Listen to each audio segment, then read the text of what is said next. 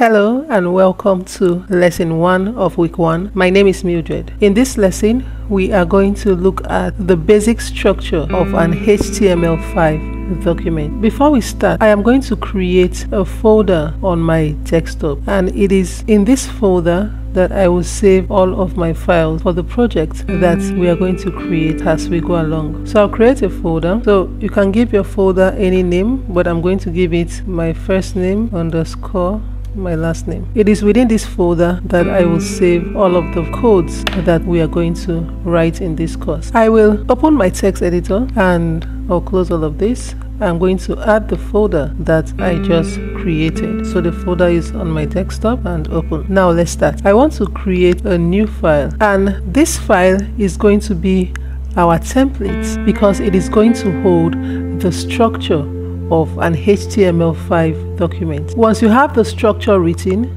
you can always use this template to recreate other pages. The first line of every HTML5 document is a doc type declaration. Now what is HTML? The H in HTML stands for hyper. The T stands for text. The M stands for markup and the L language. Now HTML is not a programming language but it is a markup language or the standard for creating web pages. What it does is that it encapsulates text within tags. So we have elements and these elements are written within tags. Tags in HTML are written with a less than sign followed by the name of the element and then a greater than sign. This is called the start tag. We have the end tag which is written with a less than sign followed immediately by a forward slash and then the name of the element to close the tag. It is between the start and the end tag that we write all of the data. The first line of every HTML5 document is the doc type declaration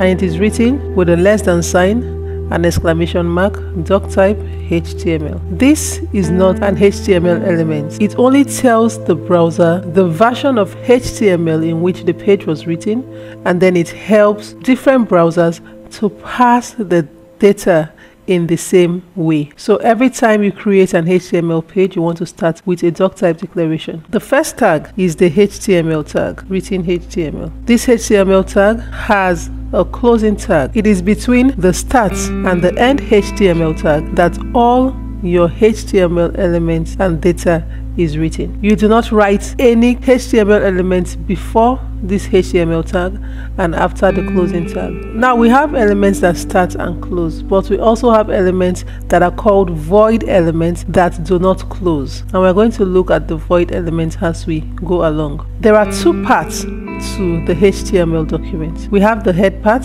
and we have the body part. Within the head is where all the metadata are written.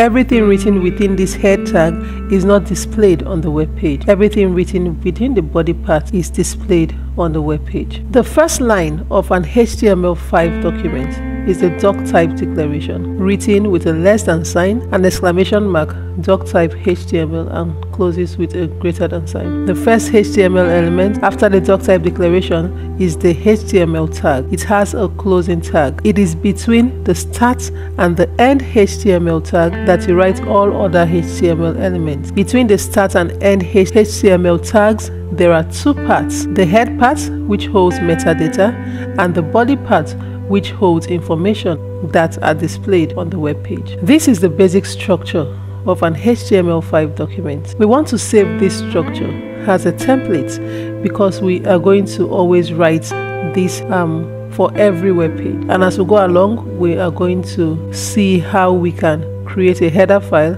and instead of always writing this on every page, we just have one header that we include on other pages but that is going to be in course 2 so we have the template and i'm going to save this and i will save this as templates. Now file extensions. Notice that when you have your document if it's a word document you have the extension .doc if you have a pdf file you have .pdf we want to save a text file and the extension is .txt. If you want to save a web page, the extension must be .html or .htm. Because we want this to be our template, we will save it with .txt and we're going to save it in our project folder. So now when you expand, you'll find that here. Let's look at the head part of the document and I'm going to copy this and I'm going to create a new file and I'm going to paste it there. I'm going to save this new file as an index page. So let's say this is index.html and I'll save this. Now we can see how color coded the HTML document is. And this is the reason we use a text editor that um, highlights syntax so that it makes our work